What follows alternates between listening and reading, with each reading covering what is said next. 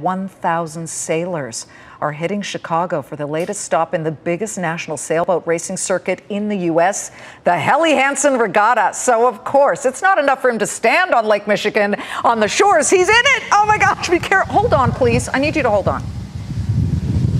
Good. I'm trying. We're about two miles offshore. I tell you, the technology is amazing, Liz.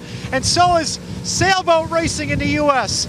I've got, I've got Lisa Gabrielson of Sailing World magazine with me. We just made it out to the regatta. Lori, can you maybe pan over and show the boats?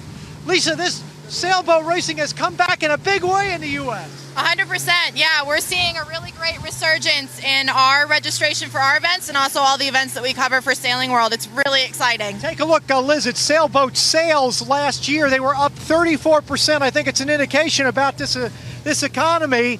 Uh, uh, you know, recovering and, and racing is becoming huge, right?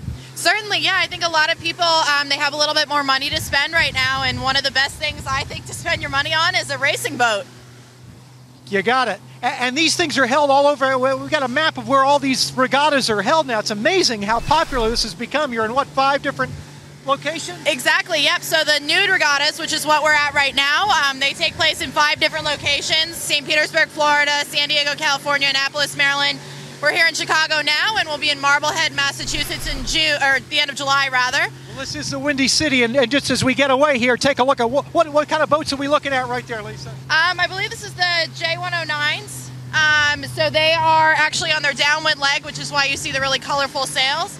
Um, they're called spinnakers, and they're the sails that carry the boats away from the wind. So it's actually really beautiful. Beautiful. Okay, well, as you can see, the conditions are lovely out here, Liz. It's, uh, I wish you were here. Sailing is so fun.